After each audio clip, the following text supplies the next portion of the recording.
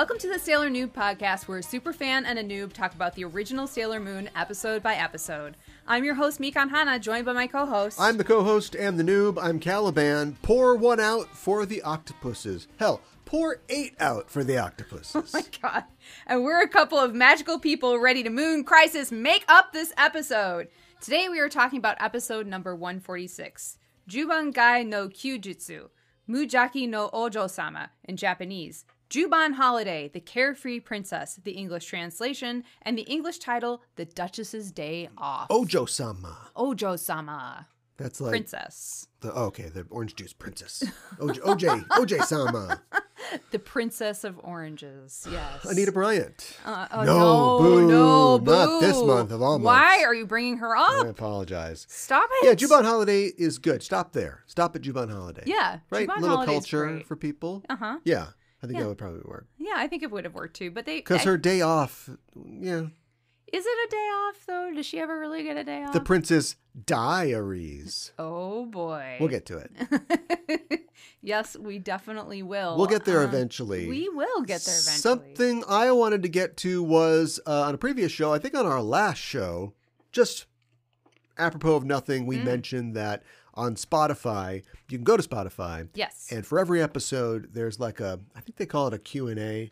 But Sure. Basically, you can leave a comment on episodes, or we can ask a question, I guess, to continue the conversation. sure. Uh, and I did not actually end up uh, writing any question for the last episode, but the fans responded Oh, good. and people went. We got a surprising amount of responses on Spotify, That's awesome. and I wanted to read some of them. Thank you, everybody. Uh, people responding to our last uh, episode. That Okay. was uh, Become a Prima. Yes. Usagi's ballet. yes. Uh, Helena says, as a former ballet dancer who faced all the body shame and instructor wrath mentioned here, I enjoyed the banter immensely. I'm glad something good came out of it. Yes. Uh, also, kudos for the uh, POTO, Phantom of the Opera reference. Yes. Tux always gave me that vibe. yes. Call him I like that. Call him Tux. That's cute. Hey, Tux. That's real cute. Uh, and Anna says, uh, No one in my life is as into Sailor Moon as I am. These are the exact conversations I want to be having with people. Awesome. Well, thanks, Anna. And uh, I think you're already on the Discord, but you can have conversations like this with us on our Discord. That's true. Link in the show notes. Uh, Agata says, Love the podcast. Great work, guys. I'm waiting every week for the Friday night to unwind before sleep with you. Europe is listening. Yay! Yay, Europe! We're glad you're Keep here. listening, Europe. Podcast free Europe. And Cincy Roz says, I've been a huge Sailor Moon fan for over 25 years. I'm a truck driver and I listen to your show every Friday when driving. Can't wait till you get to the star season. Thanks. Us too, Cincy. Us too. Same.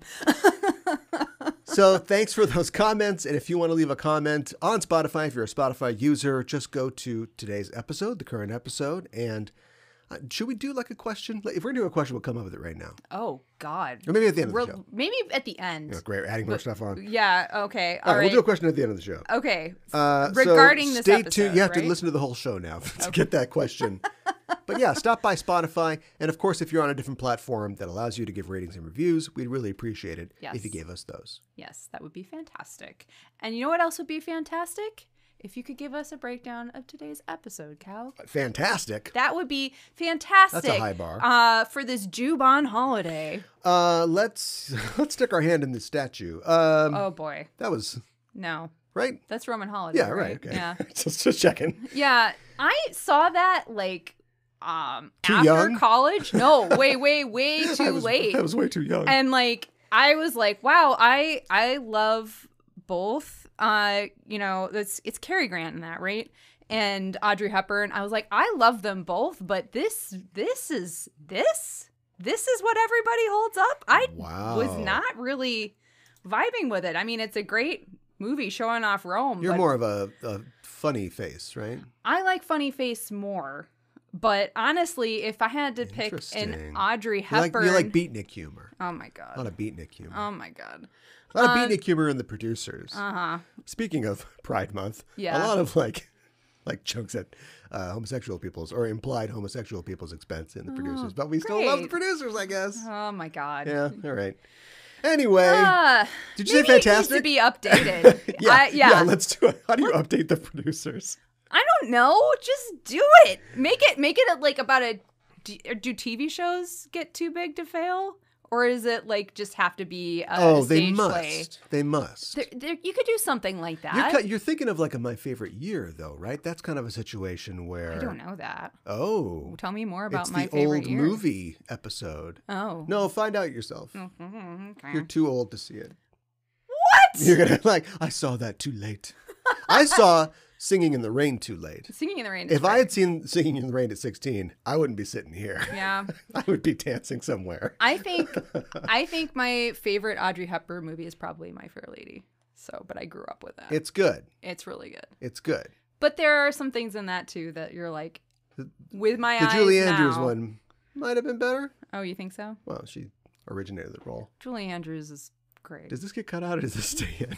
you could put this We're in establishing the our musical bona fides. Yes, That's yes. all. Julie Andrews is a gem. Move to the fantastic tale of the Princess's Day Off. Yes. We open in the Tsukino household where the TV is tuned to Plot Point News at 5. Mm-hmm. It seems that Princess Rubina, that's how you say it, right? yeah. It had two eyes sometimes and just one eye sometimes. So I don't I don't think it's even like a Japanese word, but otherwise it No. would be Rubiina. It would be if it was pronounced in Japanese, it would be Rubina because their R's But the two like. L's. Yeah, Rubina. yeah, Yeah. Well, I'm going to say Ru- Rubina. I think that's fine. or Tex. Yes. Uh, Princess Rubina of the Amethyst Kingdom has arrived in Japan. Now, this is different than Princess D of the Diamond Kingdom. These are different kingdoms. we met her. Gemstones. We met her in episode 22. We did. and they're different for political reasons, but it's mostly because Princess D looks like a f- female Umino, yes. and Princess Amethyst is clearly supposed to be a Princess Diana lookalike. yes, clearly. And this is the only time that I'll ever be grateful for Netflix because it means I don't have to explain who Princess Diana was. you think you would have had to explain? It was 41 years ago today that they got in the carriage to slay. Oh my god. It was a long time ago. I know. Thank God she doesn't look like Princess Fergie. Don't say that. Don't be mean. Well, the princess has a cold, as it turns out, and her schedule has been canceled for the day. Mm-hmm. Luna and Diana are watching the news, and Luna remarks, Diana "Oh, the cat, by the way. Yeah, Luna's not sitting in Diana's lap uh, watching the news. Uh, Luna remarks, "Oh, poor girl," and Diana, the cat, says, "That reminds me, the king and queen of the future always had a fever just on the days when they had stuffy ceremonies to attend." and Luna looks scandalized. Yes. Luna is like the ultimate feline personal assistant, and Yeah. she's like, "Oh no, we don't cancel things." but Diana, the cat, says, "Oh, don't worry. They're always better by the time the event is over." Question. What other kingdoms are there in the future? Great question. The only thing we see is like a crystal wasteland. Yeah, Like, it I just know. seems like Earth is like one. It's like Krypton. It's just like one big city under a dome. So hopefully there are other kingdoms. Here's some ideas. Perhaps the reformed Black Moon clan. Oh, Maybe a once. Rubeus and their leadership is gone, they can Yeah. make contact with you know Planet Ten or whatever, and then have good relationships. I like that. Maybe the Amethyst Kingdom. Maybe the amethyst. Maybe the. Diamond Kingdom. There you back. go. Who knows? Yeah. Yeah. What about the Hokage Kingdom? No. Yeah. no. How about emerald and ruby? Let's just throw some other gem- gemstones in there. Sapphire, you know. Yeah. Yeah. There was an action figure when I was a kid, the Crystal Warriors or something, and they were all gemstones. and It was Nice. dumb. Oh, okay. Boys didn't want to play with them because they were Well, too it sounds cool to too me. girly. All right. Uh, Luna says, The king too? And to herself, she thinks, The king fakes an illness as well? No. Diana the cat says, Are you okay? You look worried. And Luna says, I'm really worried. we flash across town where Chibiusa and Usagi are bringing home the groceries, or at least Usagi is, as she's once again been forced to carry the whole load. And she's like, Chibiusa. And Chibi's like, Nope, I don't care. It's not my problem. Usagi's like, You're heartless. You're not going to help at all. And Chibi says, Oh, you want some help? You're the one who spent her whole allowance in one day, and now you're doing chores for Mama to earn more money. This is there's some complicated backstory to this bit. There is. This is like finding out how Han Solo got his last name. No. Usagi says, "Okay, no cap, but can't you just take one bag?" And Chibi says, "I'll take half of what Mama's paying you." Chibi want her money. That's right. And Usagi's like, You already have money! take it! No way! Take it! No way! And while this continues, a woman walks up to them on the street and pushes them apart, ending the argument It's Princess Diana, Yeah. the human. I mean, Amethyst. They're not even trying to. I mean, like, we've had, like, you know, oh, wow, I'm into luging now. And the target is a professional luger. But this is literally like the princess just walks into the episode. Is like. I'm part of it. I know. I'm here. I'm inserting myself between these characters. Anyway, she says, fighting is unfit for pretty girls. Uh oh, am I going to like her? I don't know about this. She says, I'll find a way to take care of this. And the princess looks around as a large guy is walking by on the sidewalk. She puts her hand on his face and says, You, please take this baggage for them. And another guy comes from the opposite direction and she does the same to him. I know. Okay, I don't like her. Usagi and Chibi immediately start running away down the street like, ha ha, no, thanks. It's okay, we got it. Go, go, go. You don't touch somebody's face in Japan. Where's this chick from? You shouldn't do it anywhere, but it's especially weird in Japan. As the princess just, not without gloves, as the princess just watches, if they're getting on a train, that's fine. wouldn't do it to their face, though. I've seen it. As the princess just watches them go in confusion, and farther up the sidewalk, Usagi says, Who was that? And Chibi's like, I don't know. Now, if this is supposed to be a Diana, the human analog, mm-hmm. they would absolutely know who she was. She was a Yeah, big deal. she was a huge deal. She was a deal. huge deal. yeah, So the Amethyst Kingdom, smaller, not supposed to be England. I guess not. You know, Monaco didn't go study abroad in the Amethyst Kingdom. No. Decidedly no. Meanwhile, in Juban Shopping District on Juban Street, the Road of Smiles, we're informed by a sign. It says the Road of Smiles. Weird, I didn't notice that. a festival is going on, and Chibi says, "Wow, let's hurry home so we can come back." And Usagi's like, "Oh, okay, oh, so okay, I'm so I carry on. I'm sorry, I'm gonna we're gonna go to the fest. You're gonna go to the fest, and I'm, and I'm gonna I'm gonna I'm gonna carry it all by, by myself. Come on." Princess Amethyst, who is following them, I guess, also sees the festival and says, "That really does look fun. That pink-haired goblin was right." but she looks in the direction that the girl went, and she just heads that way. I know. Is she Princess Terminator or something? dun, dun, dun, dun, dun. I need your scepter, your crown, and your orb. She's she's odd. She's she's No, a, she's a, she's an odd one. Orb. Orb. pronounced. Okay. In the neon bar, our anti-heroes are looking at a picture of Princess Amethyst. And Hawkeye says, Wow, how did this one slip by Tiger's Eye? Tiger says, She's a little too old. Wow. Gross. Ouch. And he says, and they say Is she like she, in her twenties? Like, what does he mean by too old? Are you only going for teen girls, Tiger? I think that's he's on the teen girl squad. Yeah. That's gross. Uh, and he says, uh, they say that she's down with a cold. Just wear gloves and a mask when you violate her dream mirror, Oh right? You guys are good at this. How has that stopped you before? Dress up like a subway attendant, Oh no problem.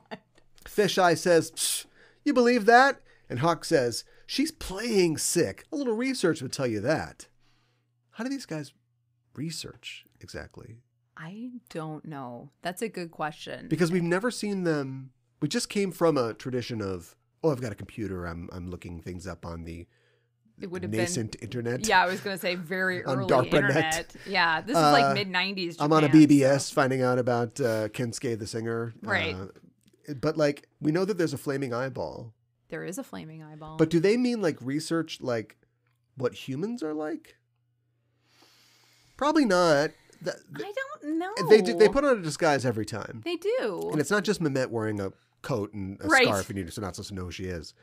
So I'd like they fit into human society well. But I was thinking that they're like, oh, like Hawk research was him, you know, watching the Princess Diaries or something like that. And it's like, Oh. she wants to go mattress surfing, so she's like, "I've got a cold," and oh, she gets out of it. Like, y- Well, I you like haven't seen that this? idea. You haven't seen the Audrey Hepburn movie? Come on, you're too old or too young. How old are these guys? We don't know. I don't know. Yeah. Fish gets up and says in her princess voice, "I can't stand this boring work day after day." And Hawk yells, "The princess has escaped! Tell people she's got a cold and go look for her!" and they both sit back down, like, "See."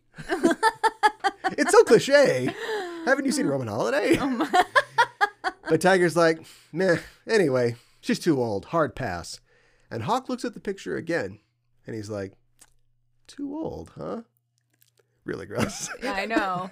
I know. It's like you guys. I know you have your thing. I think- but they're both. It's both gross. if these guys don't want to work today, I think they should take the day off. I know, right? Take the year off. You, there'll always be dream years for you to violate later. Yeah. Not, not that I'm encouraging Put it that. off. Just don't do it ever Pegasus again. is probably going to be around for the next couple of years. Yeah. But then he's got a heart out Yeah. at 18. Oh, God. Uh, no. At What the was Tsukino house, at the Tsukino house, Chibi is ready to go to the festival, and so is Usagi. They open their front door. We see that they're in traditional yukata, mm-hmm. and they see Princess Amethyst Yep. standing there waiting for them. I see everything. Usagi's like, "Uh, can we help you?" and the princess says, "Come with me if you want to have fun." no. she says, "Nice to meet you. My name is Rubina." Usagi and Chibi introduce themselves, and the princess is like, "Well, please be on your way. Don't mind me. Go ahead, go ahead." And the girls are like, "All right, I guess we'll leave our house, This is so the house we live in. I know. Excuse us. Excuse us." Diana, the cat, hmm. sees this all from the second story window and thinks, "Oh wow, it's dot dot dot." Diana the human. Yeah. Maybe. Back at the festival, we see a sign for the Octopus Pride booth, promising takoyaki packed with octopus. Oh, boy. You know what an octopus is packed with? Neurons. Yeah. Octopuses have about as many neurons as a dog, and they have the largest brain size relative to their body of any invertebrate. Octopus facts. We also see a I booth. love takoyaki, but it makes me so sad. yeah, uh, well, sewer rat might taste like pumpkin pie, but I'd Oh, never know. no. Dot dot dot. Stop it. We also see a booth for shaved ice, which is probably kakigori. Yes. Uh, we've talked about that before. Yes. Usagi and Chibi and the princess all arrive together, and the princess is like, wow, so wonderful. And we see a montage of the princess drinking in all the sights, like Templeton. Yes. Templeton on the Midway. I played Templeton. I know you did. I know you did. And Usagi and Chibi are like, side eye. Like, I know. There's so much side eye. There's even a frozen banana stand. I know. I mean, it's one banana, Michael. What could it cost? Ten dollars? They're really popular in Japan, the frozen bananas. Seriously. That's why I'm Mr. Matsuri. Banana Grabber. I know. They've got the they got the mascot. They do. Perfect. Yes. Mr. Banana Grabber, Baby Banana Grabber, and any other Banana Grabber family character that might emanate therefrom. She's sprung on this festival and she's like, What's this? What's this? This color everywhere. What's this? This goblin has pink hair. you know, the princess is pretty curious. Almost as curious as octopuses, who can experience boredom. Where's the princess now? Oh, yeah, she's over by the cotton candy booth, or the candy floss booth for our Commonwealth listeners. That's right. She asked the guy at the stand, Can you eat this cotton? and he's like, uh, Yeah. the princess suddenly looks into the crowd and she sees two policemen and she immediately hides behind the stand employee. Yes. The pigs are here. Yes. We see Chibi and Usagi playing a fishing game, and Chibi says, This Miss Rubina is not your usual tourist. And Usagi says, Well, we might as well stick this situation out to the end, or at least until the commercial break. I guess we'll find out what's going on eventually. No wink to the camera. I know. They're just literally like, you know, it's in a, yeah, you know, it's gonna go for a little longer. It's a Sailor Moon. Would have been perfect. By the way, Usagi is not winning at this game, and Chibi says, This is a waste of money. It's a real learning experience. I know. so sour. I know. At the cotton candy stand, we see a huge wad of cotton candy creep away from the booth. And Usagi and Chibi are like, Where's Miss Rubina? But then that, that that's it. Well, did we you smash cut Yeah, but to like the midway. she, she hides behind him, and then his face is like he's blushing No, because no. she's so close to him. yeah, I know, I know. like- But like, she's hiding behind the cotton candy, like Yes. this bush of cotton candy. Yes. But she doesn't like drop it, and then like we just cut You're to the midway, and she's walking along. So there, it's like there's missing frames or something. They didn't connect those two. we know what's going on, but like you have to let us know that you know that we know. What's going on? You got it. Yes. I knew you knew. you knew that I knew that you knew that I knew. That's it. Yes. Elsewhere on the midway, Rubina sees a young child screaming at his mother to buy him a balloon. And Yeah. the balloon guy is like encouraging the kid. He's like, come on, come on, go for it, kid. You got to go for the gold. I don't know what carnival people are like in Japan, but over here, he can make that kid disappear for you. Oh my! Don't. Just a little money changing hands, and the fair has a new dog faced boy exhibit. You just say the words. Oh my God! Don't say that. The mother says, I won't allow such selfishness, Landon. and seeing this, Rubina has a flashback to a time that she was called selfish. That's selfish, not shellfish. And incidentally, some octopuses can carry clamshells around with them, and they close them up and hide from predators inside of them. In a big ballroom, Rubina is being called selfish by her lady in waiting and a male attendant. And she says, Ordinary women can do whatever they want when they're overseas. Spring break! The attendant says, You are the princess of the Amethyst Kingdom. And the lady says, You must behave yourself so this country and the Amethyst Kingdom can be allied. But the princess says, And for that, you don't care if my freedom is sacrificed. The others won't relent, and eventually she concedes, saying, Very well, I will get ready. If you will leave the room, please. Are the windows unlocked? I'm just asking for safety. She's already in like full formal wear. Like, what's she going to get ready to do? Put pants on and leave, right? Yes. Yeah. Exactly. Back at the screaming kid, who is honestly looking like he's about to stroke out, he is handed a balloon by the princess. Yes. It's an octopus balloon. Oh, and did you know octopuses can change their size, shape, and color, often for camouflage, but sometimes their colors and patterns change just for fun. It's like they're thinking and expressing themselves. It's unclear if the princess has paid for the balloon at all. I'm guessing not $10. and the kid runs off as the mom runs after him, like, hey, give that back. And the princess is like, yeah, freedom. She looks down and there's a crowd of little kids around her, and she's like, Do you want one too? Here you go. Food for everyone. And the balloon guy is like, Oh God, that's perfect. topical. The balloon guy's like, We can have a bearded lady at this carnival, girl. I can make that happen. Oh my God.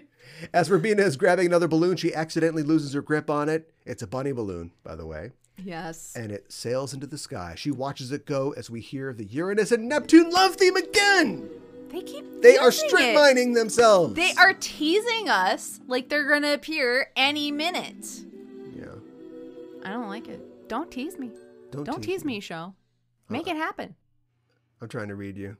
I I'm, I'm not giving anything away. Oh, I'm just now I mad at the show. No, I know it won't happen. Okay. she watched. What? What? I can read you like a book. Come She- on. She watches it go, thinking, "It's so free." As hundreds of sticky hands clawed her, like, "Hey, give me a balloon, bitch!" the balloon guy makes his move, and he's like, "So let's settle up now. How do you want to pay?" And she's like, "Pay?" And she hands him a balloon, like, "Here." Spring break. Woo! We smash cut to a jail cell. I wish. That's that's that's where this would go if this was a Western film. Oh my God. But instead, the balloon guy goes ballistic. He's like, You hand out my balloons and you don't have any money? I'll make you the bait in our bear baiting act. I will feed you to the Fiji mermaid. You will be an elephant toilet before I'm done with you. Oh my God. Usagi and Chibi roll up and they're like, Uh oh, we're going to be on the news again. and the balloon guy actually hauls back to hit the princess. And thank God he's stopped by Hawkeye. I know. It's the first time I've been glad to see this guy I know. who's in kind of like a traditional dress. He's got like a It's a kimono Matsuri jacket. costume. Matsuri, yeah. there you go. Yeah, Yeah, like a, a hoppy and like a headband. The Yeah, hoppy it's, kind kimono of hoppy. coat. It's moving around. he throws the balloon guy to the ground and he says to uh, the princess, the human, uh, "Are you hurt? You know, in this world, when you want something, you need something called money." And he leans in and says, "Princess Rubina," and she immediately shoves him over and says, "They sent you to bring me back, didn't they?" Say goodbye to these, cause I'm out of here. Spring break, woo! Oh my God. and all the balloons go sailing into the sky. She says, I'm free like that balloon. And everyone in the festival is like, yeah, woo, yeah. As she says, Dinner and a show. you're Great. right. she says, Sarabara. And she runs off to applause. I didn't catch that she said Sarabara. Usagi and Chibi are like, well, she's going to get hit by a bullet train or fall in a toilet or oh something. Oh we better get after her. And Hawk gets up and says, It's useless to run away. And he's bashed over the back of the head by a helium tank wielded by Balloon Man, who says, Pay for these balloons or we're going to have a new hippo inseminator here. Oh my God. I just imagine that. That's how you pay for things at the circus, right? If you're at a restaurant, you got to wash dishes. Right. You have to do like acts. Right. You know, do a trapeze or something. Right. Except in the circus, you just like you're just part of the circus. You got to work it off. Yeah. Yeah, but you never really. You work never it off. leave. You never leave. Yeah, I've seen the movie. Uh, Hawk, whose hair was parted by the tank, says, "Wow, you're violent. Here, keep the change." And he holds up a one thousand yen bill. Yeah. Ooh. Ten dollars. Woo! Again, where do they get the money? I don't know. But bash, he gets it again. And the balloon guy says, "That's not enough." As Hawk sinks to the ground. Are we gonna rate this guy? Oh my god. Is this guy the bad guy? Is the villain? You know, Hawk is never going Balloon to be. guy gets a five. yeah, I think he's tough. He's strong. He's got a good character, yeah. good threats. Yes. Uh, he, Hawk's never going to be able to come back here because they'll remember his face. Yes. Just like how octopuses can identify individuals and remember faces. On the street, Usagi and Chibi are looking for Rubina, they can't find her. She is spotted by Luna, Artemis, and Diana the cat. And with them is Mamoru. Because why not? yeah, what'd you do this weekend, dude? You hit the highway on your motorcycle? No, I was hanging out with a cat family from the future in some alleyways. That's, uh, that's great. Aren't you uh, dating a high school girl? Oh my god. Rubina says, Rubina, s- Rubina sees Our heroes, everybody. Rubina sees Mamoru approach, and she's understandably concerned. But he says, "You don't have to worry. I'm not somebody that they, that they sent after you. Uh, after you have some spring break fun, you should probably go back to your hotel. I understand that you long for freedom and having a margarita made in your mouth, but have you thought about how everyone, you know, the people who care about you might be worried?" Boo! if she's too old for Tiger's Eye, she's over 18. Yeah. Which means that she should be able to do whatever she wants. Yes. And they'll hear from her when she's back. That's right. Just then, Usagi and Chibi run up and they see Mamoru, who says, Yo. I love when they just say yo. I know, me too. Is that a thing? Yo. Usagi says, Well, we were going to pick you up later. The fireworks are about to start. But Mamoru says, uh, Actually, I have sudden plans. and he doesn't go anywhere. All he does is leave the episode until he returns. Like why? He has no reason to go anywhere. I don't know why he leaves. Well, so she can be, you know, kidnapped later. he just leaves to Mm, talk to the cats. But anyway, uh, Rubina says, You're Usagi's friend? And Usagi says, You ran away so fast. You know, if there's a reason, you can tell us. But Chibi says, Usagi, there are some things you just don't talk about. You don't go asking questions all willy nilly. And Usagi says, somebody's been reading the advice column in Mama's magazines again, huh? oh my god. which that's the joke I would have wrote. Perfect. No notes. But you got to tag a joke. Yeah. And Chibi immediately turns to Mamoru and says, What were you doing with Rubina Chan? Mamoru says, I never think about that. Yeah. Mamoru says, uh, I was hanging out with the cats and I was looking for you two, but Miss Rubina asked me for directions. Uh, right, Rubina? And she's like, Yes, directions to the car store. Thank you. yes, I have your information. And Mamoru says, Well, I'm off. I'll make it up to you guys next time. I'll get you whatever you want. And Usagi's like, Whatever I want. And Mamoru, little bead of sweat, is like, Yeah, whatever. and Chibi says, Mamo chan, you shouldn't spoil a child with so many things. And Mamoru's like, Yeah, good point. Thanks, Chibiusa. Anyway, bye. and Usagi's like, I'll blow it out your ass, dear Abby. As Chibi and Usagi wrestle each other, Rubina thinks about this kind man who helped her so selflessly. And that kind man is hiding, weirdly, around the corner with Diana the cat. And he says, I'm pretty sure that she's the real Rubina. And Artie says, Can we leave her alone like this? Man, their protect the royals instincts really kick in, don't I, they? yeah, they do. Where were they on I that fateful night in Paris? I know. I I know. Magic cat, don't go in the tunnel. All right, no, it's not good. We're talking about Diana the cat. Uh, I just think they probably get itchy when they go past a Burger King. Uh, Mamoru says it's okay. She'll go back on her own. But Artemis says, I meant being with Usagi. And Luna says she's going to think all Japanese people are like her. wow. I know. Right under the Toei bus. I know. Later, the fireworks show has started, and Usagi and Chibi are loving it. But Rubina says, Usagi, can you see Mamo-chan whenever you want to? Is he rich like an Egyptian film producer? Oh no. And Usagi says, Well, sometimes he's busy. And Rubina's like, Wonderful. Usagi and Chibi are like, Hey, let's head down to the front and get a better view. And they get up and run off. And as Rubina gets up to join them, she hears, It is, after all, a fragile glimmer. Nothing matches your beauty. It's Hawkeye! And his hair is perfect. Usagi and Chibi look back to see that Rubina has disappeared mm-hmm. at a second location. Don't go to Unmolested. I know. She's kind of up against a chain link fence a little bit. She's, mm. she's cornered, but she went with this guy. she did. Rubina asks, Did my government send you? I'm fine. I'm going back to the hotel. But Hawk says, Can you actually go back, though? Solid. C. C plus. and his rug unfurls, and when it refurls, he's in his circus togs. One, two, three, and she's on the board, and her mirror is out. Rubina is still conscious, though, on the board, and she says as he approaches, And you are?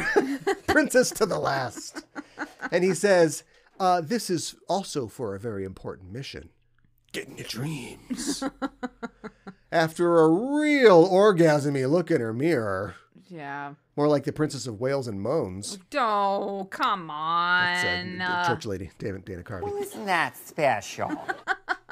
Just real gross and bad stuff. Uh, he says, uh, Not here. And I spent so much money too. oh my god. Now you die. We hear, hold it right there. And atop the jungle gym, backed by exploding fireworks, are sailors Moon and Chibi. They say, on a, such a fun night of fireworks, only baddies do mischief. And some octopuses have been known to build underwater cities from shells, glass, and bottle caps. In the name of the moon, we'll punish you. Hawk says, give me a break. If you're going to complain, you pay for the balloons. This guy's stuck on these balloons. He is He so saves all of his receipts. Yes. And they don't go anywhere. They- No. He gives them to Zirconia and she's Yeah. like, so what? Yeah, the the the bursar's office, the slot, just there's a just a furnace behind there. They, they just go right in, go on. To me, my lemur, master of the ball riding elephant, Elefanco, and out of his shadow comes an elephant. Yep. Yep, the elephant roars just like elephants don't, and on its back we see another ball person. I know. The ball says, "Yes, I'm Elefanco, the master of the ball riding elephant. Mm-hmm. You've met my brother-in-law Gomario before." So it's not Peach. No. Sad. Yeah, I, thought we had a pattern going. oh, peaches! Remember him? And Moon and Chibi are like, uh, sure, I guess.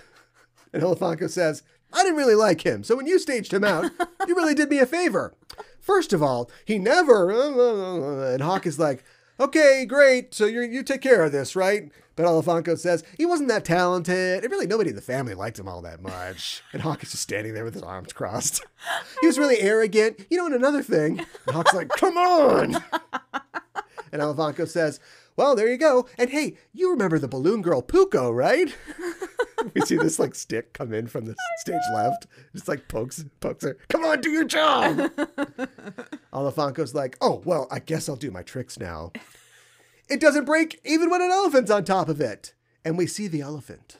Mm-hmm. What I can only assume is an evil elephant. Clearly. Balance on the ball. And Moon and Chibi are like, amazing! Is not looking so good. Mm-hmm. The music gets kind of wobbly. And so does the ball. She starts sweating, starts to crack a little. And she says, How long are you going to be up there? the elephant falls to the ground, and Elefanco says, Prepare yourselves! And she comes flying at the Senshi, leaving a crater where she lands. The sailors leap over her, but land on top of her. Mm-hmm. And she lifts them into the air and starts rolling around the playground. Mm-hmm. And Hawk says, Okay, you got it then. And he tries to leap through a ring full of feathers, but the elephant is stuck halfway through it. and he pushes the elephant through, and they both disappear. Where do they land? I've never thought of this before. I never have either. They always go up in the air. Is there a, of- receiving area that they like touch, a transporter room that they sort of uh, touch down in? Great question. What does What it look like when a on, dude and an a- elephant come out of this Yeah. thing? Do they land on like a trampoline or like uh, a ball pit? In a ball pit, Yeah. yeah, Yeah. yeah. the balls would just go everywhere when that. yeah, Like, yeah, no balls left. yeah. Well, speaking of landing, Rubina hits the ground and Elefanco steers right towards her, intending to crush her. Sailor Moon and Sailor Chibi are powerless to stop her advance, but a red rose sinks into the playground as Tuxedo Mask says, To assault a fair maiden. But Elefanko runs over his rose, crushing it. I know. And TM's like, Oh, what? I was, I was on top of this flagpole and everything. he leaps ahead of the rushing ball and he lands to the side, holding his cane like a pool cue, and crack! He knocks Elefanko into the chain link fence. And his hair was perfect.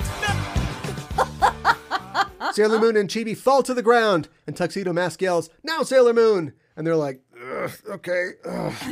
and with a twinkle yell, Chibi summons Pegasus. Pegasus says, You know, one of my cousins pulled the carriage at the royal wedding. It's a pretty good gig. Takes a bit to get used to the poop bag, though. I've said too much. uh, hey, did that ball become a sexy lady? And sure enough, Elefanko is now half of a ball. The ball is her head, and the rest of her is a leotard clad baddie. But nevertheless, Sailor Moon gives us the MGM, and Elefanko stages out like her relatives before her, disbelievingly. Yes. The threat vanquished, Rubina awakes, and later at her hotel, Mamoru with Chibi and Usagi drop her off in the Alfa Romeo. Rubina says to them, Thank you. I had a lot of fun.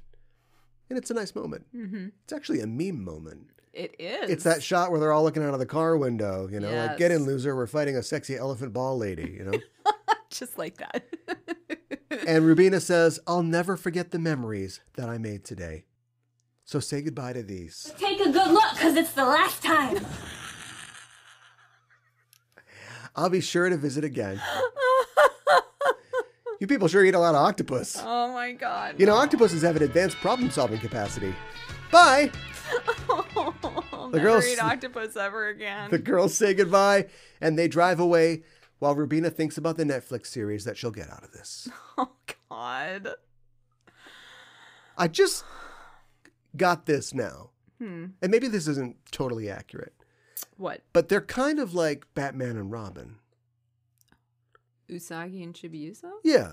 We've talked about them being co leads. Yes. And although I'm not sure that Robin ever really, maybe in the Batman the Animated Series, he gets his own episodes. Robin never becomes like a total co lead with Batman. His name's on the title. Yeah. But um, that's kind of where we are. Well, he's a pretty big part of the 60s show. I wouldn't necessarily say he's That's the true. co lead, but he's a pretty big part of it. That's true. Yeah. Yeah. Holy contract stipulation, Batman. exactly. um, but I mean, and that, um, you know, that works. yeah. Am I here to complain? I don't know what I'm here to do. Are you here to complain? I, it's You you, know complain. it's fine. The my only problem. Look, I know there's going to be ups, there's going to be downs, there's going to be good ones, there's going to be bad ones. I just Yeah. don't like the stagnation. I feel you. We are Yeah. over 20 episodes in now, right? And Yes. it's the same thing. And we even reach the point that we usually reach where it's like, you all got new powers. Yeah. Now, you won't be in any episodes to use those powers ever, Yeah. but you got new toys to play with. They, they got and their they new did powers. that literally just to get things on the shelves Yeah. in 1996. Toyetic. Was very toyetic. But like we're doing the same stories still. I know. So like I I, I know we're not gonna here's here's a new idea for my sequel. Chibiusa series. Oh. Chibi's Usagi's age. Mm-hmm. And we just do Sailor Moon C. Sure. That's it. That's my Sa- pitch. Sailor Moon C. I just get up, I drop the water, it's open, it's all over the guy's desk. and I just walk out. I'm done. And I want you better it. hope that elevator isn't on the floor when I hit the button. Because I won't hear you call me back. So you can give me a check. Uh, Sailor Moon C. all right. That's my like idea. it. Like Sailor Sailor Chibi Moon, Sailor Moon C. I'm also worried that we have reached. We'll talk about it when we talk about the villain gauge. Hmm. Uh, so don't take my comments as like you know I my won't take your rating. comments.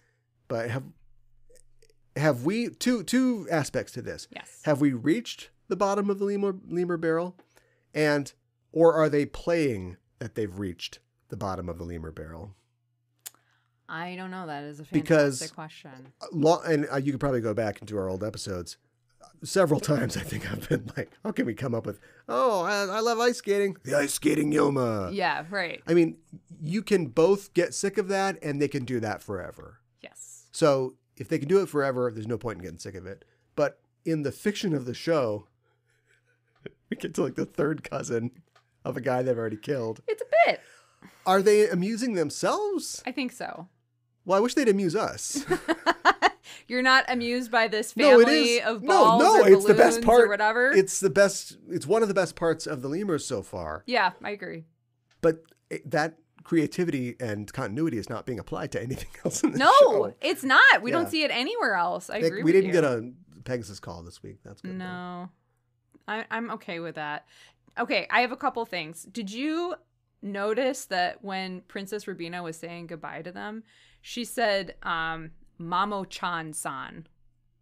So she used two suffixes. Is she po- is supposed to be white? I don't know. Yeah. I don't know if she's Where the supposed to be white, but I feel like she's, you know, it's just like she doesn't know how to interact with people. Was was there a thing or wasn't there with Princess D where she was like, "Oh me no talkie"? Was she had problems like com- communicating? I don't think she had problems communicating. I think she was just kind of shy. Oh, okay. I don't think she had problems talking to people. Oh, George. yeah, right. yeah, you'll know when they're trying to talk English. Yeah, exactly. Um, Roman Holiday was one of the best movies of all time. Okay. Of all time. all right, all right. No, it's, it's Uh, it's okay. Um, so when they were watching the fireworks, I don't know if you noticed this, but I think it was Usagi. She yelled, uh, "Tamaya!" and I was like, "Tamaya? What is what is Tamaya?" So I looked it up, and it is fairly common for Japanese people to shout "Tamaya" or "Kagiya" during fireworks displays. And uh, do you know why? Uh, that's like their ooh and ah. well, no, not quite. So there's more of a story behind it. Oh. During the Edo period, um, public displays of fireworks became very popular. And I know. We've already talked about firefighters. We, we yes, that is a good point. I hope there weren't that many fires caused by fireworks, but um, as they became more popular, the shows became more and more complex, and the fireworker firework maker that's a tongue twister. Uh, Tamaya reigned supreme. Um, so in in night in not nineteen in eighteen ten, a group splintered off from Tamaya and created the Kagiya firework shop.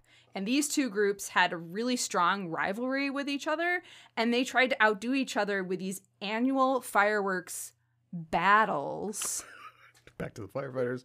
Yeah, I know. They're duking it out like who can do the most spectacular, biggest fireworks and everything. Okay. And then I'm gonna fill this bucket with water. I know.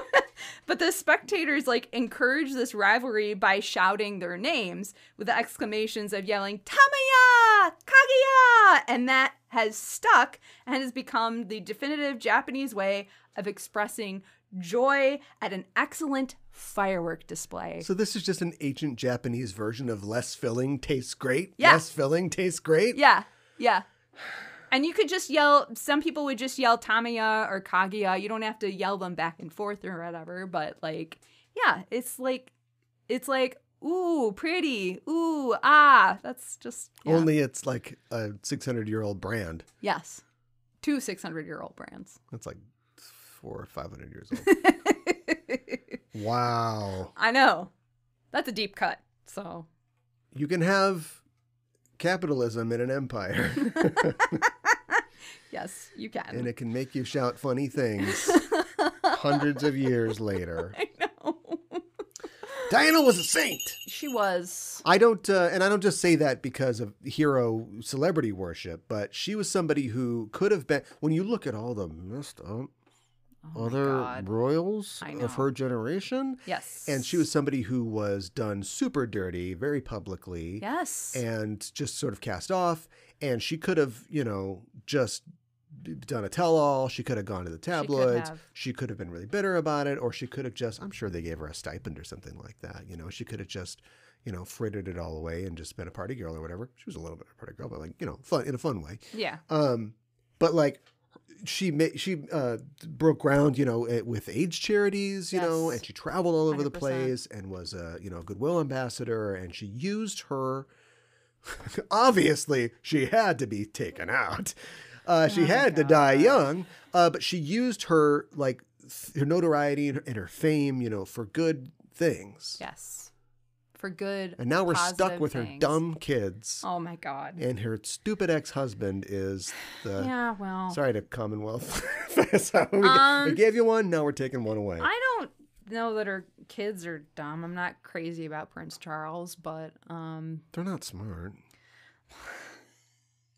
Look, I you know, I kind of root for Harry in a weird sort of way because I feel like he's been done dirty by the, his family a little bit too, even though he he's you know sure, he's but part switch of them. switch him with the other one. Yeah, and which one are you going to feel bad for, and which one's going to be like, yeah, I don't, I don't really know about this yeah, because I'm not number one. yeah, right? I guess I see what you're saying. It's interesting that, and uh, Charles, I'm sure had this to a degree, uh, Edward to a degree, but like, uh, Mm. you're you're seeing them grow up, and they're growing up in the spotlight. You Yeah. know, the the royalty is always touted out for the public. Yeah, um, that's part of their job. But Mhm. like we are literally like watching them grow up. You know, I know. their televised wedding was I don't know if it was the first. Tel- well, it must have been right. uh, Princess Diana and and Prince Charles. You've seen The Crown was uh, Elizabeth's uh, televised. I don't think hers was. so that's why that's why it's the think it royal wedding. Like you know? radio. I don't know. So if their the entire lives were in the spotlight. Yeah, And so it's obviously going to change their relationship with the public, right. um, with their subject. I was going to say constituency. It's not. It's subjects, It's isn't it? With their yeah. subjects. And so I think that that can be a positive force. But I think it's also shown us that like these guys aren't that smart.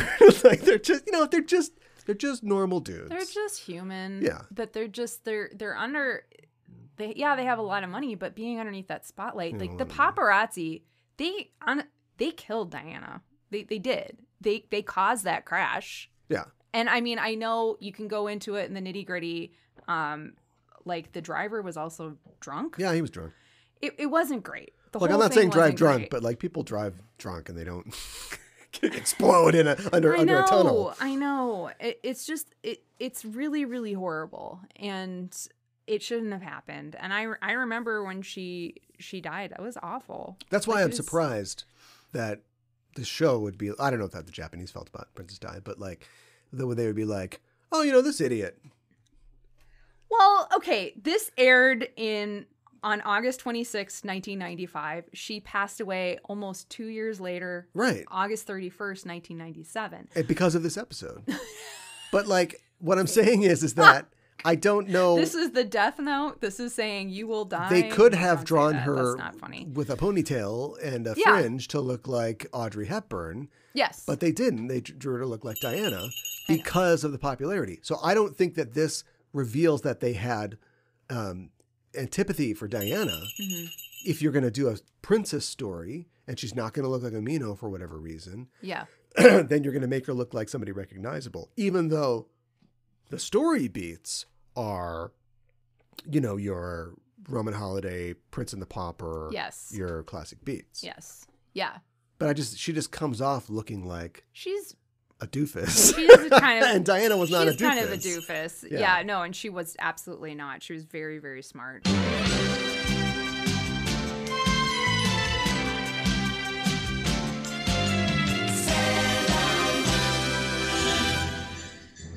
All of you relax. This is a matter of inconvenient timing, that's all. Rebooting the podcast was inevitable. This is simply the beginning. I thought I told all of you I want broadcast silence until further. Ooh, I'm very sorry, Cal. I didn't get that message. Maybe you should have put it on Twitter. I figured since you were relaunching the Just Enough Trope podcast, you might be a little lonely, so I decided to be your co host. Uh, that's very kind of you. I assume you're our mysterious podcaster. You're most troublesome for a Sailor Moon fan? Eh, sorry, Cal. Wrong guess. Would you like to go for an all new show where the hosts haven't really changed? Who are you then? Just a fly in the ointment, Cal. The die in the hard, the moon in the lighting. She's talking about the rebooted Just Enough trope, where we'll dive deep into the pop culture elements that make up your favorite movies, TV shows, comics, and video games. See if she's lying about moonlighting and find out if Bruno has returned. No, no, no. Respect yourself. Miss Mystery Guest, are you still there? Yeah, I'm still here. Unless you want to sing a duet with me. Uh, no, I'm afraid not. But you have me at a loss. You know my name, but who are you? Just another podcast host who saw too many movies as a child, another orphan of a bankrupt culture who thinks she's John McClane, Korben Dallas, a crooning alcopop pitchman. I was always kind of partial to Seagram's Golden Wine Cooler, actually. It's wet and it's dry. Do you really think you have a chance with this new show, Ms. Co-host? Yippee-ki-yay, Mother Cooler. Just Enough Trope 40 stories of sheer pop culture deconstruction. Available everywhere you listen to your favorite shows. Do I sound like I'm ordering a podcast?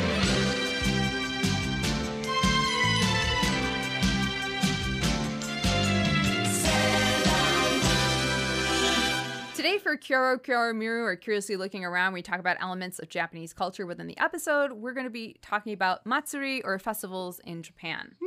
Um, matsuri is the Japanese word for festival. In Japan, festivals are usually sponsored by a local shrine or temple, uh, but they there are also secular matsuri as well.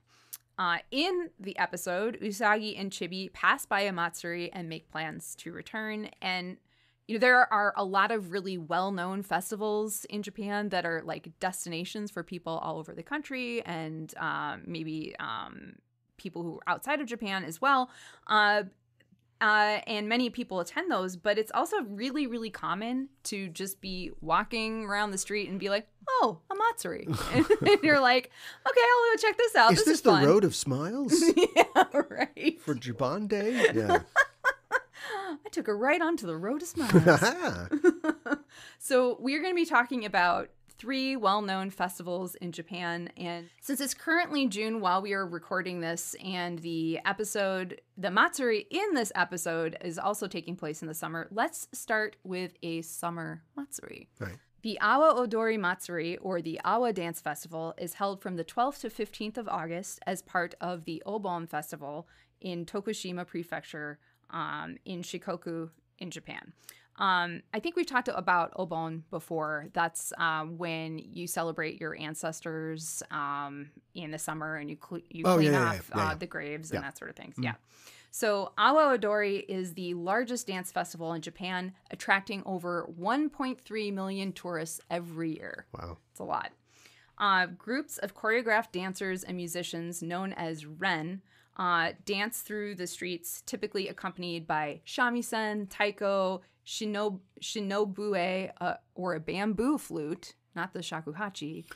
Shinobue, Up and down or side to side? side to side. Side to side. Yeah, well, it's like it's got little holes in it, but it, it's made out of bamboo. Um, and the kane, which is a type of dish-shaped bell that you hit with a special mallet. Um, performers wear traditional Obon dance costumes and chant and sing as they parade through the streets. Awa is the old feudal administration name for Tokushima Prefecture, and Odori means dance. So, Awa Odori's independent existence as a huge citywide dance party is popularly believed to have begun in 1586 when uh, Lord Hachisuka Iemasa, the daimyo of Awa province, hosted a drunken celebration on the opening of Tokushima Castle. Spring break. Tokushima Castle. The locals got drunk on sake and began to stumble and weave back and forth, and others picked up musical instruments and began to play a simple rhythmic song. They're dancing. Um, It's a little pat. it is. That's the scene in the movie. Yeah, right. So, however, according to a, you're right, uh, a local historian, uh, Miyoshi Shoichiro, this story first appeared in Mainichi Shimbun newspaper uh, in 1908. Oh, it's like Santa Claus and Coca Cola. Uh-huh. Right, right. and it is not supported by any concrete evidence. Journalists So, ruin everything. It's not real. Fake. Fake news. It's not real. Um, some evidence of the festival's history uh, comes from edicts issued by the Tokushima Han feudal administration, such as this one dating from 1671. The Bon one. This is there's three parts to this edict. One, Bonodori may be danced for only three days. Two, Samurai are forbidden, forbidden to attend the public celebration. Oh. They may dance on their own premises, but they must keep their gates shut. No quarrels, arguments, or other misbehavior are allowed. Three, the dancing of Bonodori is prohibited in all temple grounds. So you Tell can me not to dance, but I do it anyway, misbehaving. exactly. So you can take a couple of things from this, like right, like clearly this went on for more than three days, and like disturbed the orderly uh, productivity of this town, and clearly samurai attended and got drunk, and like people, it like, wow, wow. Man of honor, huh? You know, so either they like got drunk and looked stupid. I don't know. They didn't have a lot to do. I know. At this point, right? Because this is only the you know the mid 16th or uh, Yeah. late 16th century. Yeah. So the samurai, all the samurai that are alive still, Yes. don't have anything to do. So probably something looks pretty good. Yeah, Get probably. party. Probably. So, and then, you know, don't go dancing on the temple grounds. Don't do it. don't do it. Um, while the Matsuri starts during the day, the main event happens at night starting at 6 p.m.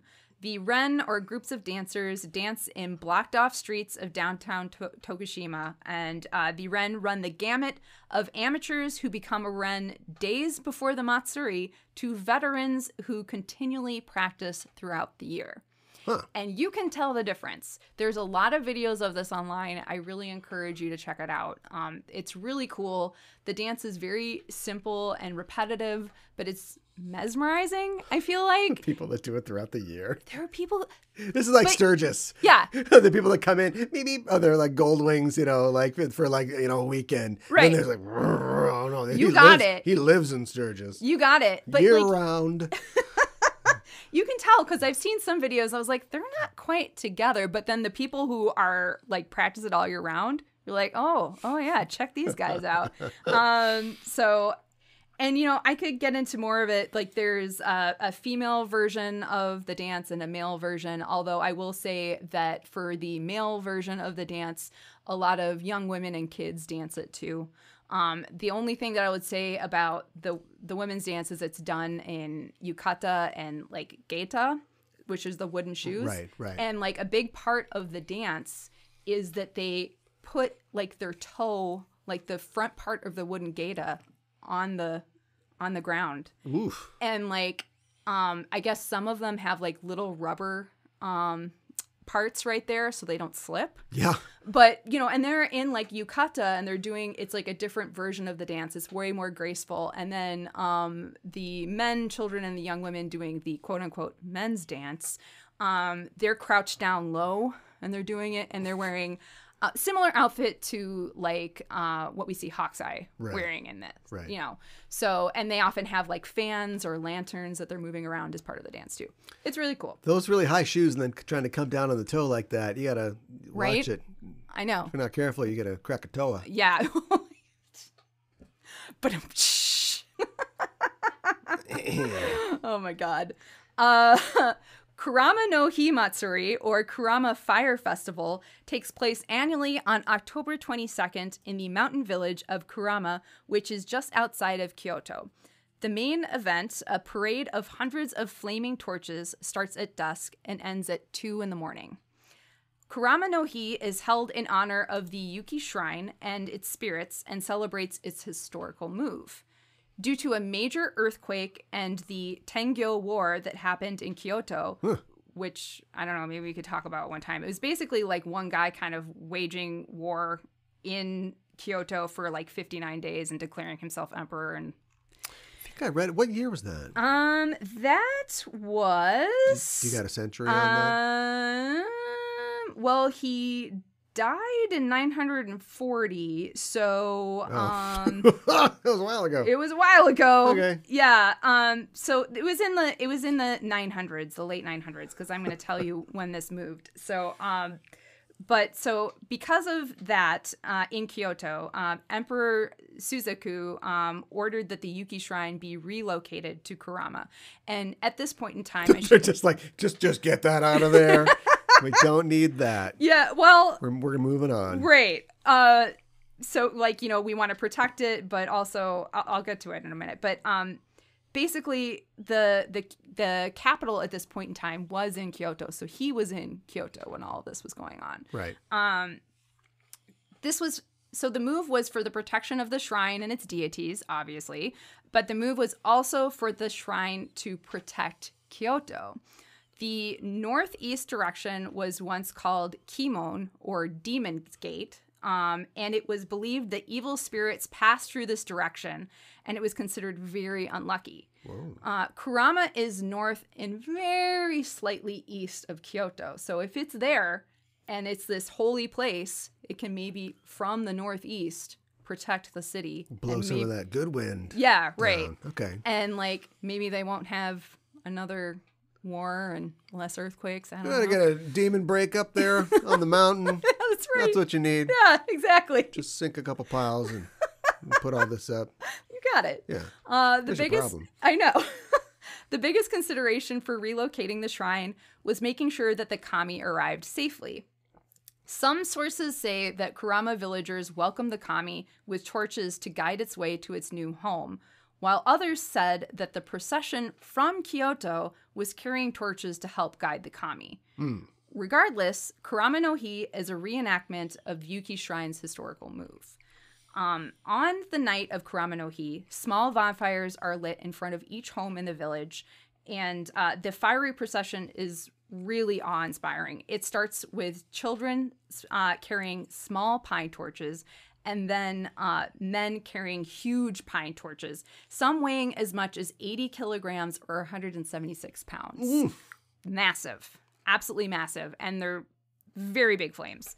Um, some men in the parade also c- carried the mikoshi or the portable shrines up the road, and that's like I think we've talked about this before too. So like the kami um, comes from the the shrine or the temple and goes into uh, the mikoshi. That's what you know. That's part of the, the belief with Shintoism and everything. Yeah. And so you parade it around as part of the festival. You're parading the kami around essentially. Yeah. Um, so yeah, um, Mikoshi transport is no joke. Some Mikoshi can weigh over a ton, so you need a lot of people doing it.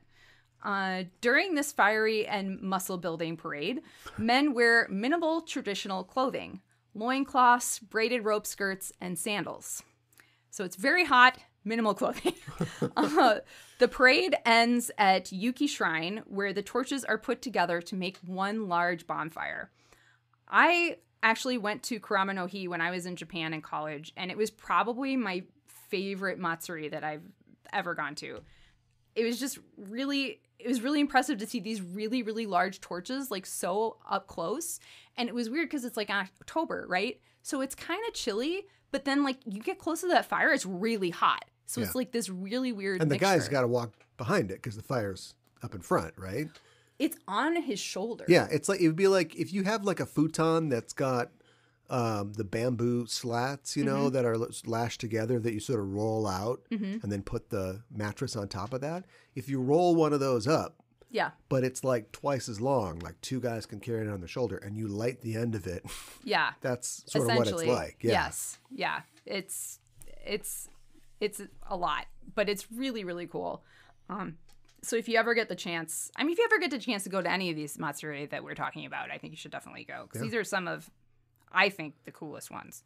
Uh Uh, you have to pay for balloons though. yes, you do have to pay for balloons. there is that. the Shinto Kanamara Matsuri, or Festival of the Steel Phallus, or Penis Festival, is Hey, hey, ho, ho! This penis festival's got to go. Hey, hey, ho, ho! Uh, it's, it's an annual Japanese festival held each spring at the Kanayama Shrine in Kawasaki, Japan. Uh, Kanamara is celebrated on the first Sunday in April every year. The phallus, as the central theme of the event, is reflected in illustrations, candy, carved vegetables, decorations, and a Mikoshi parade. This is like a giant like bachelorette party. It is. It is. That's a very good way of putting it. There are lots of uh, penis-shaped suckers and all so sorts many strawberry daiquiris. Yes, so many strawberry daiquiris. yes. Exactly. I'm sure people are very drunk as well. uh, lots of daiquiris.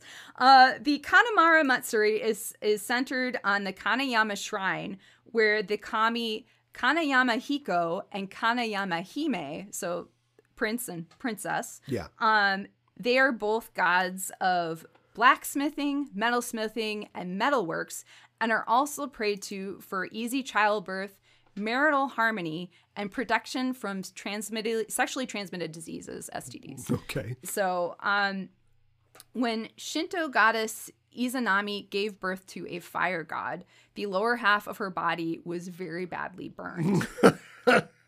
Understandably Yeah. right? That would happen. Um, Kanayama Hiko and Kanayama Hime healed Izanami's wounds. Uh, Kanayama Hiko and Kanayama Hime, according to some sources, were originally gods of blacksmithing and mining, but because of the Izanami myth, those seeking help with safe childbirth, fertility, matrimonial happiness, and sexually transmitted disease being prevented or you know minimalized, uh, began to pray to them as well. So The um, tongs would come in handy they would, for the childbirth. they would come in handy for the childbirth. And if you're going to deliver a baby and you pick up some tongs and you don't click them a couple times, are you really delivering a baby? Well, I mean, you have to ask yourself, why are you here? to the doctor, the delivery room. Click, click, click, click. All right, let's get this party started. Oh my god. wow. um so there's another legend. Another legend is of a malicious demon who fell in love with a young woman and hid inside her vagina. Oh, I've seen this movie. I know. It's called Belladonna of Sadness. I know. That's what I was thinking of when I was reading this. Yeah. Uh, this demon's jealousy was so strong that he bit off the penis of her newlywed husband, not once, but twice. Wait. Two newlywed husbands. Oh, okay. She married one. Like, did he not get the whole thing in the first go? No, she married one. That guy's penis is gone. All right. She married two. Yeah. His two. Yeah. You know, first husband's penis bitten off, shame on you. Second husband, shame on me. Why? I saw when I was researching this, somebody like in their article about this festival was like, why didn't she warn the second guy?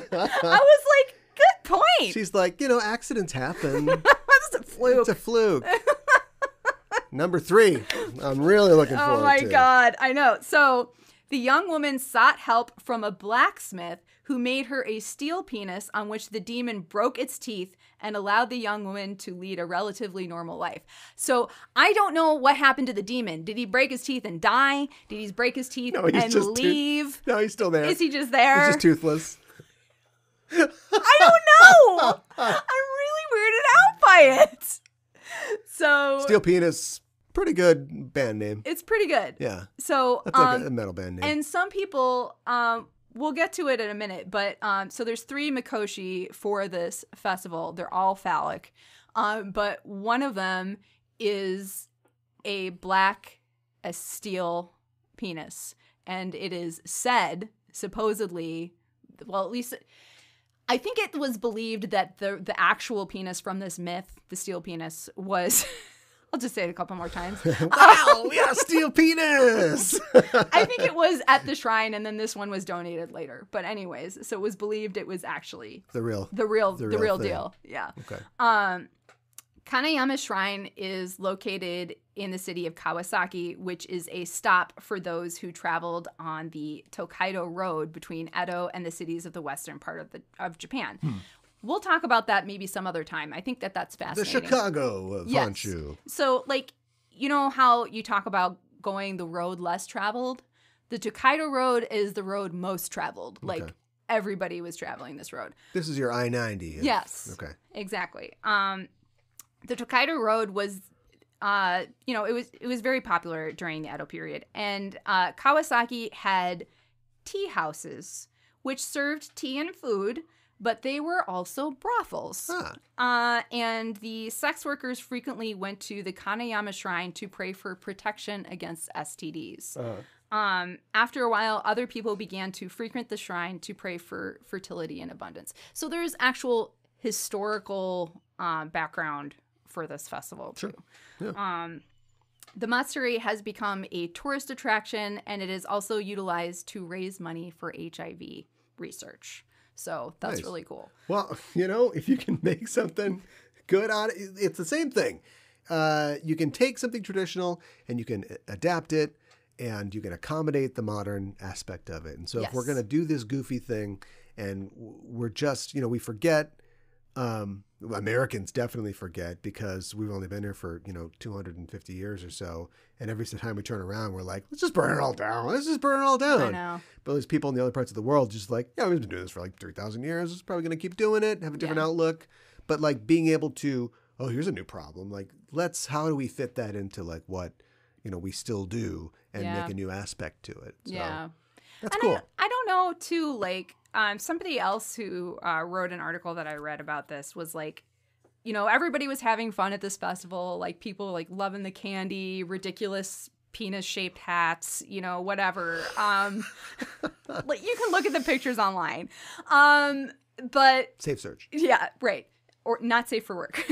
um, but was kind of like sad a little bit because it felt like maybe like Japan had kind of forgotten like the reason for why this festival started because it just seems like a huge bachelorette party.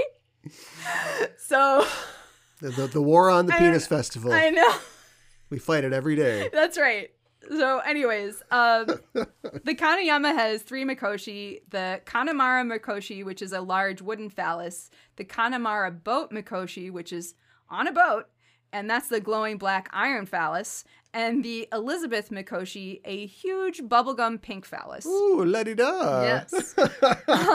the Elizabeth Mikoshi was donated by the cross dressing club Elizabeth Kaikan and is carried by um, uh, trans women and cross dressing men.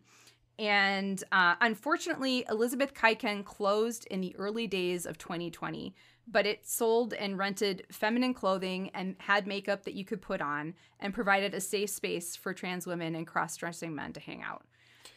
So that, is that not a, a part of it anymore? I think it's probably still a part of it. It's just they're not sponsored by them. well, I mean, they donated the Mikoshi, so that's still there. And my guess is they still um you know, they still carry it. Like, but yeah. like the club itself isn't open anymore. Okay. Because it would be great if that, again, this is what I was going back to before, like if this could be a new modern aspect of it. It is You know. it is part of it. Like um I do think that it has become for Japan, you know, kind of an an LGBTQ They need event. everything they can get. They do. Yeah. and um you know i feel like a lot of i, I read uh, that a lot of people who feel like they have to hide their queerness in japan Mm-hmm. feel like they can be open about it at this festival which i think is a very positive thing Yeah. um and I did want to mention too that Elizabeth Kaikan was the first cross-dressing club in Japan, but it wasn't the last. Um, Onnanoko Club or Girls Club in Shinjuku opened in 2012, and it's still going. Uh, you can rent outfits, wigs, and heels. Uh, customers can also try various cosmetics. Um, patrons who are in, inexperienced with putting makeup on can use the shop's makeup service for an additional fee, but I still think that's really cool. Um, it is the only bar in Tokyo where folks can cross dress and express their feminine identity. And over the last couple of years, Onnanoko Club has received global media recognition and has become a destination for customers from Western countries as well as China and Taiwan. I think that's really cool. Yeah. So, Sorry, I was just on Live Nation. I was looking for Steel Penis tickets.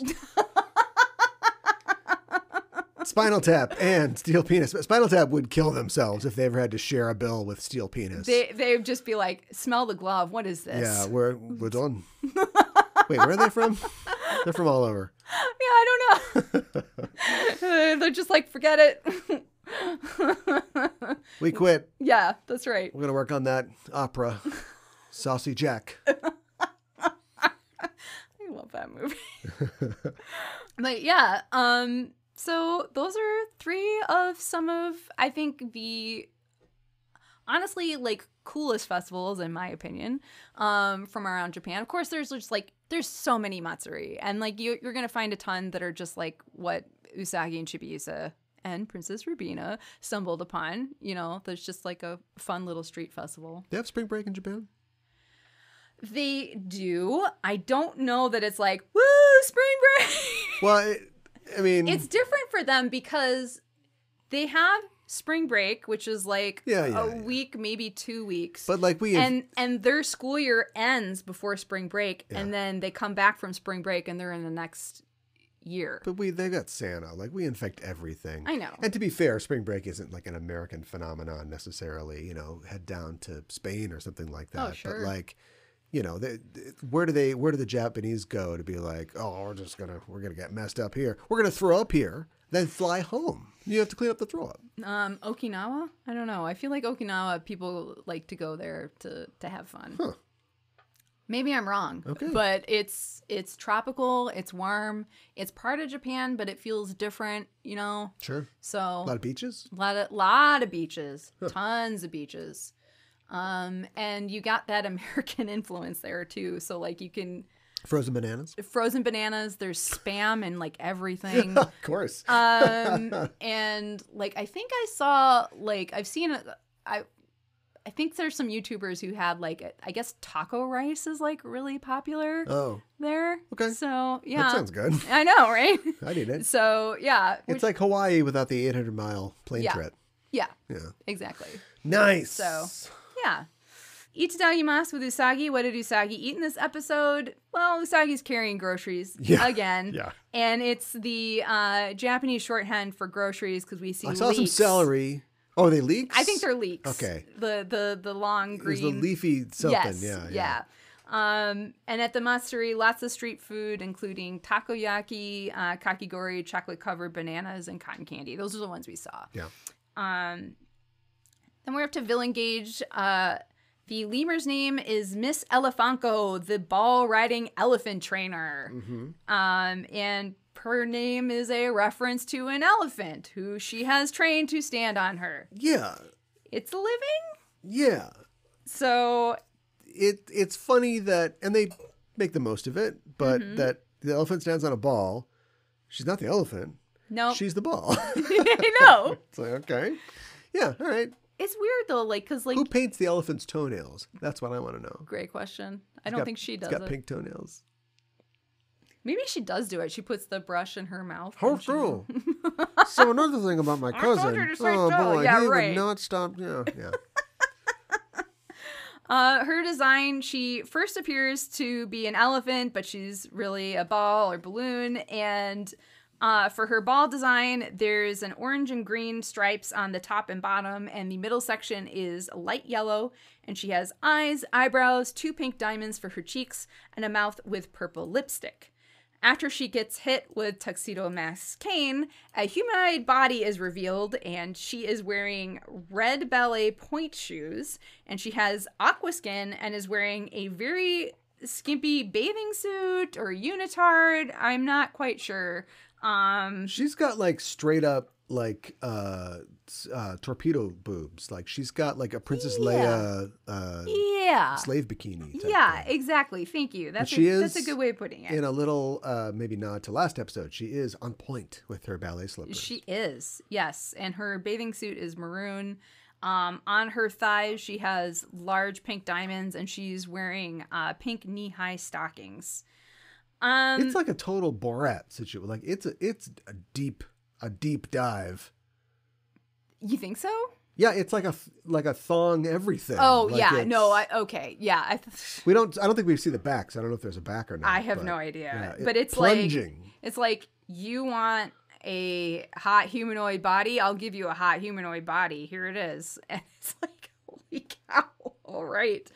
Um, now we're up to our rating. I love how she talks smack about Gumario and uh, so long that Hawkeye gets annoyed with her. I think that's fantastic. Um, I love how she says that she doesn't break even when an elephant is on top of her, but then she starts to sweat and she cracks and basically makes the elephant fall off of her.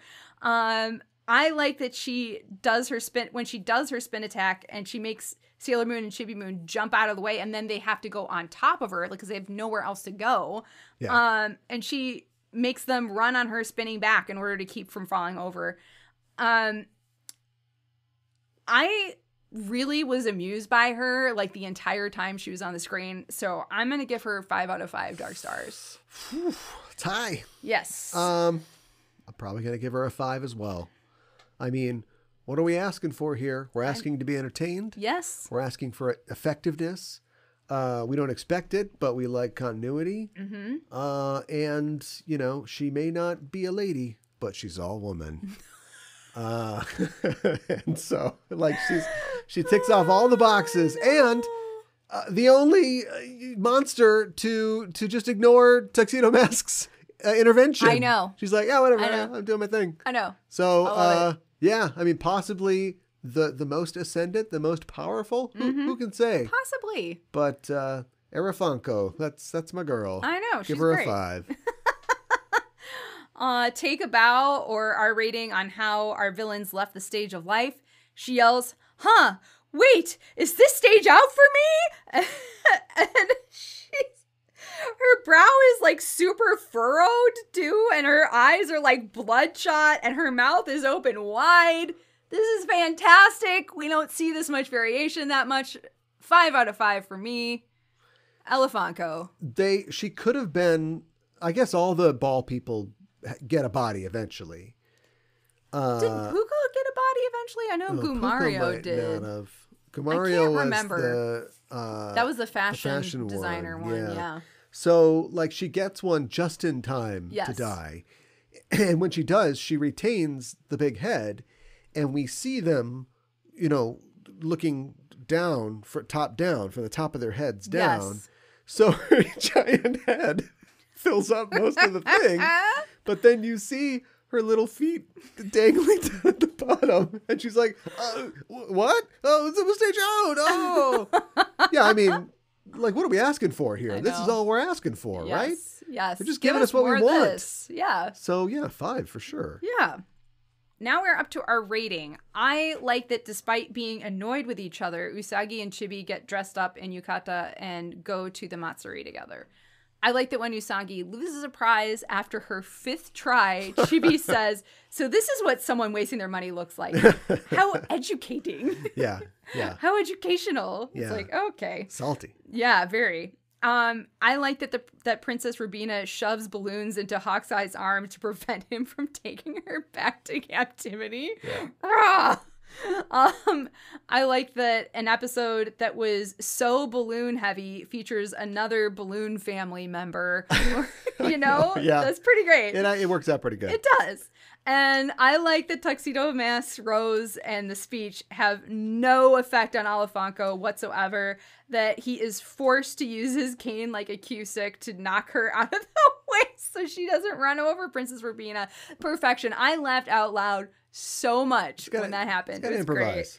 Um, but so those are some of the highlights, right? And but like uh, Princess Rubina, I'm not really vibing with her so much. Um, I'm gonna give this one. This episode was was was decent. I'm gonna give it three out of five roses. I hate going three for three with you, but I'm gonna give it a three as well. They had me in the first half. I'm not gonna lie. Yeah, Uh, nothing going on. just like, all right, it's just like a bad, confusing, uh, you know, riff on Roman Holiday.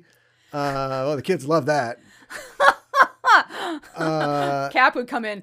I get that reference. and or no, uh, wait, he wouldn't because it happened after the 1940s. Never mind. yeah, he was in the ice. Yes. Uh, yeah, she was starving in uh, in in uh, Europe or wherever uh, uh, when he was in the ice or fighting uh, World War II.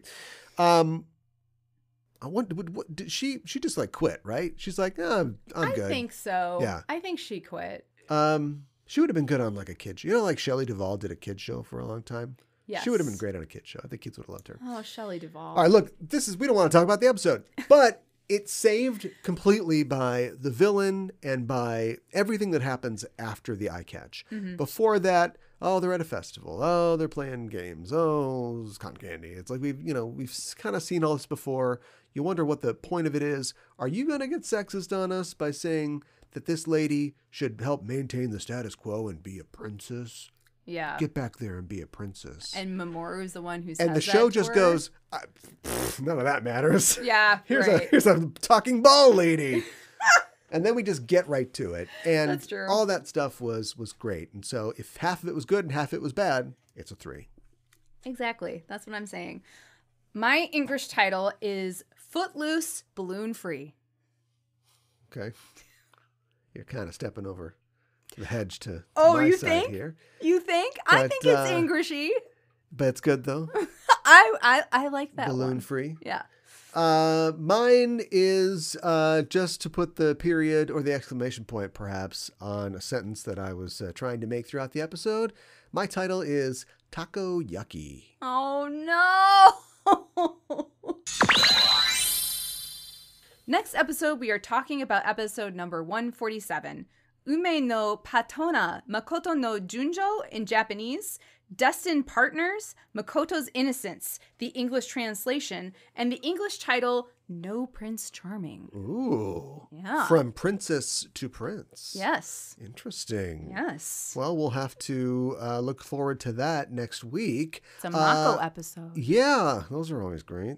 Uh, well, come on, you gotta admit they've been a little up and down. They, they are a little up and down. I'm kind of bummed that they are, but Uh, you're right. They're not always reliable, but we can always rely on our patrons. And I wanted to announce that we have a new patron. Excellent. Yes, Jacob has joined us as an inner senshi at the inner senshi level. Welcome, Jacob, to the team. We're glad to have you aboard. Welcome, Jacob. And as an inner senshi, Jacob gets access to all of our content on Patreon, our new podcast, Beyond Good and Eva, where we talk about the psychological and philosophical, philosophical. There's a rhythm, that- but it's not in the rhythm. philosophical Yes. elements of Neon Genesis Evangelion. Of course, our long-running series, Animedification, Mm-hmm. where we talk about animes. Sometimes animes that are sequels to animes that we haven't seen. That's right. What a dumb idea. and outtakes, this list outtakes from the show on. and even more. And so if you want access to all these goodies and extra stuff from the Sailor Noob crew, then go to patreon.com forward slash Sailor Noob. Sign up, be a Senshi today. So, what question are we going to ask the audience? Oh, I got one. Okay, great. He's back, everybody. Do, do you think that octopuses are intelligent? And what I mean by intelligent Yes. It's not like there's like sentient yes. and there's sapient, right? Okay. And don't any behaviorologists out there or whatever, don't come after me, but like sentient would be like problem solving and like probably self aware. Uh huh. Sapient is like what we think of as being able to, you know, Like, like communicate human-like. or uh huh. Yeah. Yeah. Okay. All right. So you're asking you can like sign up for a credit card. you're asking sentient is what you're asking, not sapient. Yeah, I don't think they have credit cards. no. But if they did, they could make themselves look like one. I hope it's a good question because that's the question that will be on our Spotify.